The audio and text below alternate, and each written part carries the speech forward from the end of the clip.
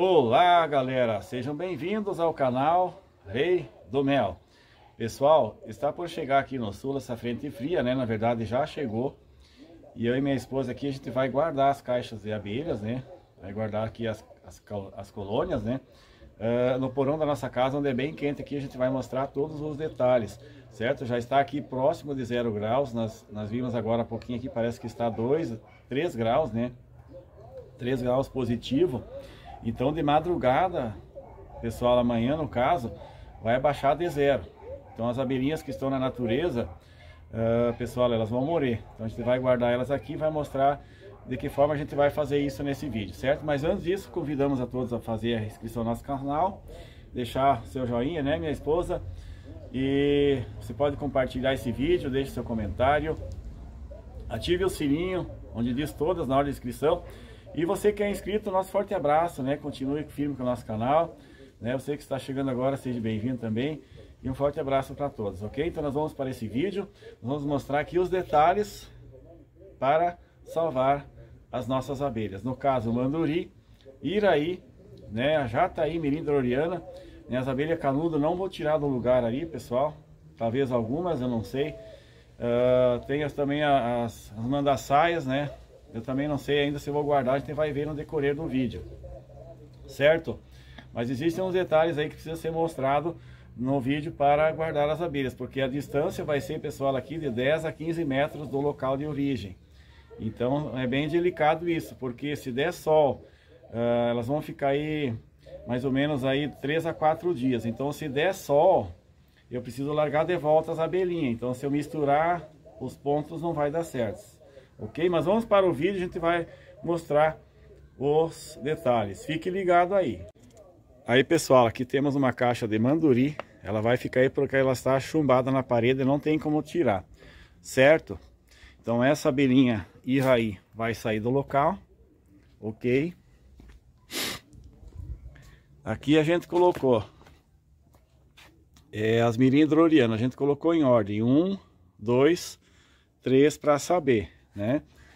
Uh, as abelhas canudas não sei ainda se eu vou se eu vou guardar elas, aí não pega muito vento não. Mas como eu vou fazer, pessoal, para para que não dê problema, Aqui é caixa vazia, tá, pessoal? Só aqui que tem abelhinha. Por exemplo, botei essa etiqueta número 3. Número 3. Ó, número 9. Número 9 na estrutura. Então a gente vai fazer de recolher. Pessoal, só um detalhe, a gente vai recolher só as transferências de 2021. É, esses enxames mais velhos aqui, por exemplo, como esse daqui, ó. Tem bastante mel nas mergueirinhas. Né? Esses enxames aqui não precisa recolher não. Esses enxames vão ficar aí na natureza. A gente só vai recolher por precaução, né? Esses enxamezinhos que foram transferidos esse ano. Então, é um detalhe aqui, ainda preciso marcar com a caneta, né? Na madeira, onde dá para escrever. Porque se eu misturar, por exemplo, colocar essa aqui no local daquela, no retorno depois, aí não vai ser muito legal para elas, né, pessoal? Vai dar briga, vai, vai dar contenda ali por causa do feromônio. Então o ideal seria colocar cada uma no seu lugarzinho de origem, certo? Olha só, pessoal, aqui é o porão da casa. Por exemplo, tem aquela colônia de jataí ali há anos, com o pitinho para lá de fora. Lá, lá de fora é número 9.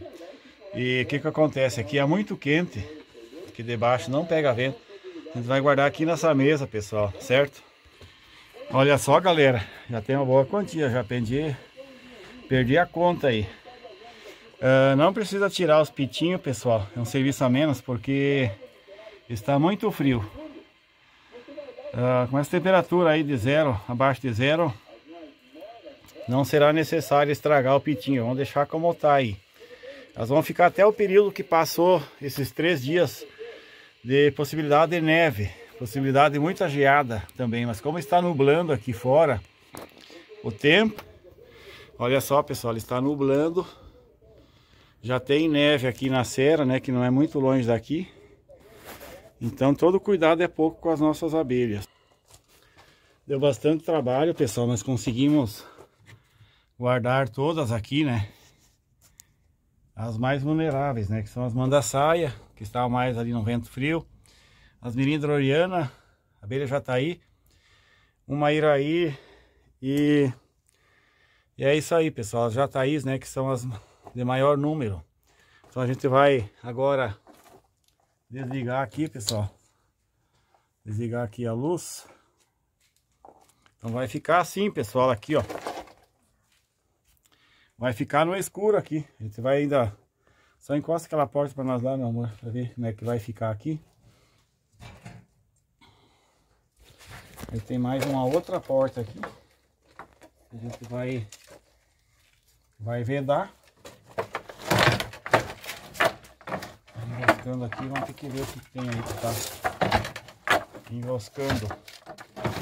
Ah, vai ficar bem no escuro aqui, pessoal, quente. Todas elas têm alimentação dentro, né? E vai ficar top aí, pessoal. Então, o que que acontece? Ainda dá tempo para você guardar as suas iscas, né? Se você está assistindo esse vídeo, porque é muito importante isso, pessoal, porque o frio aí promete muito frio para quinta, sexta, sábado, né? E domingo. E essas abelhas vão ficar confinadas aí. Então está vedado agora aqui, não tem luz alguma mais. Olha lá, está calçadinha ali para os gatos não medir o bafo. Essas caixinhas. Mas é isso aí, pessoal. A gente mostrou aí uma maneira de proteger as, as nossas ASF, né? Do frio. Olha como bate o vento aí, ó. Temperatura já próxima a zero grau. Então é isso aí, amigos. Forte abraço. Deus abençoe a todos e até o próximo vídeo.